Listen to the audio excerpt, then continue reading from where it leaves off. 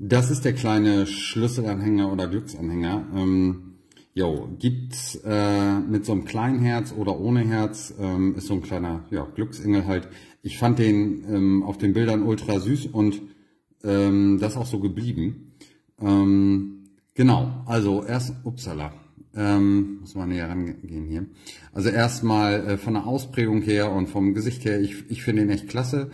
Ähm, ist halt sieht man auch, also nicht jetzt irgendwie eine dünne Scheibe, sondern ähm, ja, also dick gemacht und ist auf beiden Seiten gleich. Das finde ich auch richtig schön. Nicht, dass man auf der Rückseite so eine platte Seite hat. Das ist immer ein bisschen doof. Ähm, der Schlüsselring ist auch äh, schön dick. Nicht, nicht so, ein, so ein dünner, das ist auch so ein schön, schöner, dicker, stabiler. Da hat man keine Angst, dass man irgendwas verliert. Ähm, genau, die Oberfläche hier scheint, nicht, nicht scheint, die ist lackiert. Ähm, ja, das wird vielleicht mit der Zeit irgendwann mal abschrubbeln, aber dann kriegt er halt eine Patina, die man auch schön findet, wenn man ihn länger trägt. Ähm, das Ganze ist von Ankerpunkt, kenne ich sonst nicht, ähm, aber das ist mal ein tolles, tolles Produkt.